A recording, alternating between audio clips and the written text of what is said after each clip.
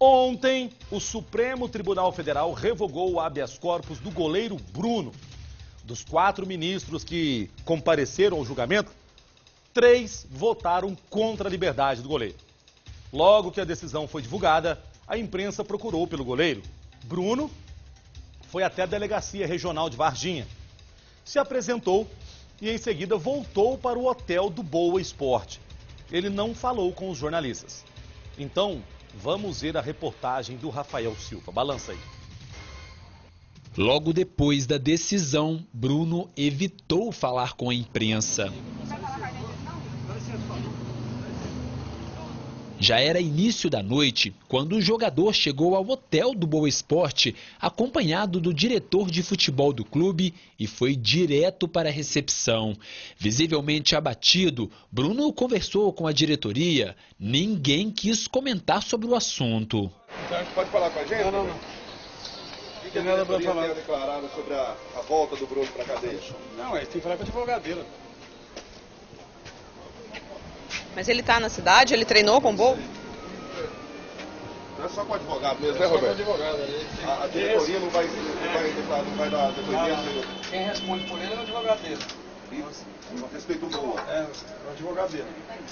A decisão mobilizou a imprensa, que mais uma vez ficou de prontidão à espera do goleiro.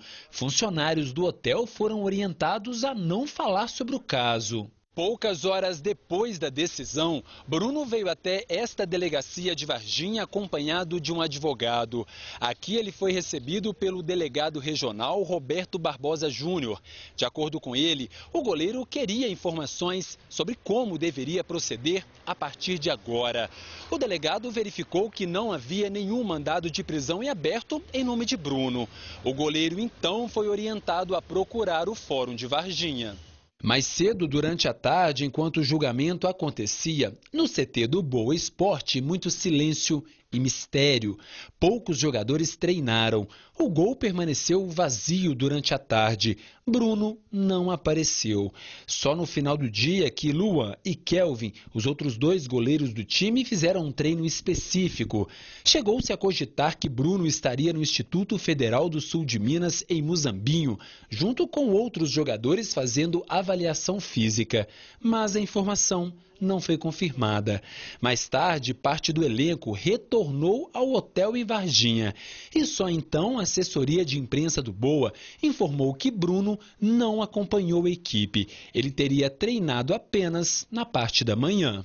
Bruno Fernandes ficou preso por seis anos e meio pela morte da modelo Elisa Samúdio.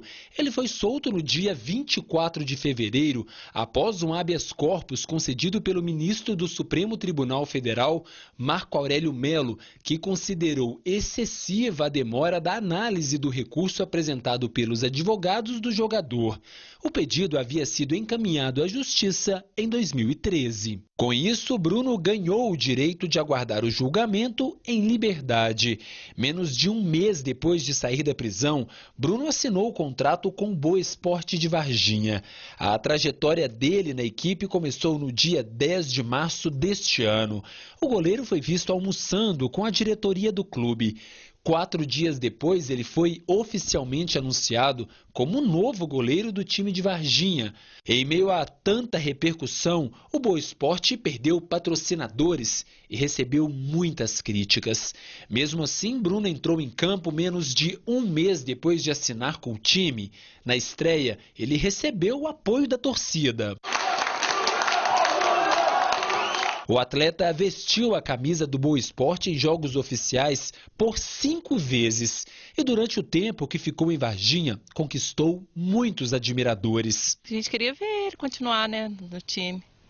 Sempre possível vir aqui para ver se encontrava com ele? Já viu ele? Já, já vi, já tirei foto. Então, Gosta do trabalho dele? Gosto, gosto sim. Mas ontem o futuro de Bruno foi definido pelos ministros do STF em Brasília. Eles julgaram o pedido do Procurador-Geral da República, Rodrigo Janot, para que o habeas corpus concedido ao jogador em fevereiro deste ano fosse revogado. Apenas o ministro Marco Aurélio Melo votou favorável à manutenção do habeas corpus. Ele, inclusive, já havia concedido o habeas corpus ao goleiro neste ano.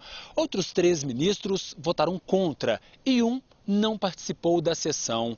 Os torcedores que estiveram aqui no centro de treinamento para ver o goleiro ficaram surpresos com a notícia. Veio aqui hoje para ver o treino como sempre faz. É, como sempre. E Ai. quando chegou, Foi a, foi a surpresa, né? Que a gente ficou sabendo que o Bruno não, não tá aí hoje, né? torcer para Deus ajudar que ele sai logo de lá para retornar aqui no Boa Esporte de novo, né? Porque a gente está precisando dele aqui. Vai fazer falta. Vai fazer muita falta, com certeza. A decisão do STF ganhou destaque e repercussão. No Twitter, por exemplo, foi um dos assuntos mais comentados do dia em todo o país. Ainda não foi definido o presídio para onde Bruno será levado. Isso só deve ser definido depois que ele se apresentar ao juiz da vara de execuções penais de Varginha.